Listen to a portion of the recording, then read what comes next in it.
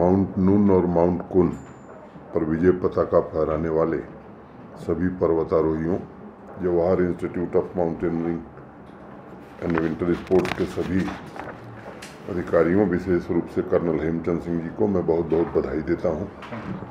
एक ऐतिहासिक घटना मुझे याद आ रही है। एडमंड हिलेरी जब एवरेस्ट फतह करके उतरे तो उनसे एक पत्रकार ने सवाल किया कि एवरेस्ट की चोटी पर ऐसा क्या खास था जिसने आपको मोटिवेट किया? पत्रकार ने कहा कि मैंने सुना है कि वहाँ ऑक्सीजन भी नहीं होती है। तो एडमन हिलेरी ने हँसते हुए एक जवाब दिया कि एवरेस्ट मौजूद था, शिखर सामने था जिस पर आज तक कोई इंसान नहीं चढ़ा था। इससे बड़ा और मोटिवेशन क्या हो सकता है? और उन्होंने कहा कि it is not mountain we conquer but our selves मुझे लगता है कि जब ये इच्छा हो कि असंभव को प्राप्त करना ही है, तब इंसान पर्वतारोही बनता है। नई खोज करने की जब अभिप्सा होती है, चेतना होती है, खतरों भरे पहाड़ियों पर चढ़ने का हौसला तभी आता है।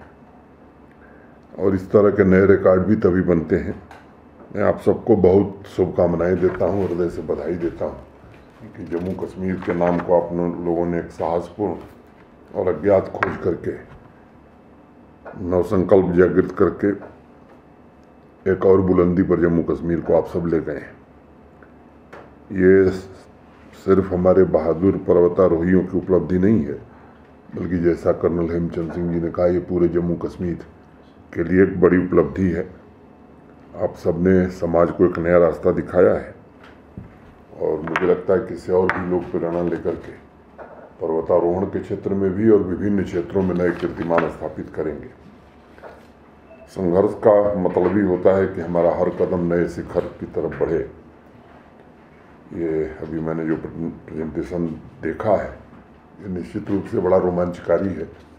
सामान्य व्यक्ति कल्पना भी नहीं कर सकता है कि ऐसे दुर्गम रास्तों पर बर्फ़ से भरे हुए पहाड़ की चोटियाँ ऑक्सीजन की कमी उसमें लोग जा सकें। लेकिन मुझे लगता है कि हम सब जानते हैं कि देश अमृत काल में चल रहा है। और अनेक नई उपलब्धियाँ देश नित हासिल कर रहा है।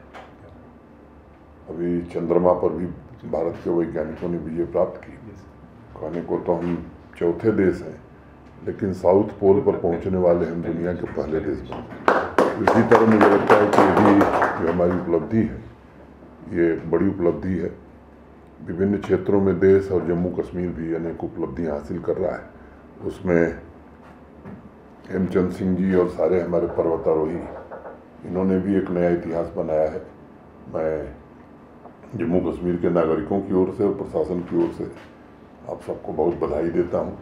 और भविष्य में और भी नए कीर्तिमान आप स्थापित करें। इसकी शुभकामनाएँ देता हूँ।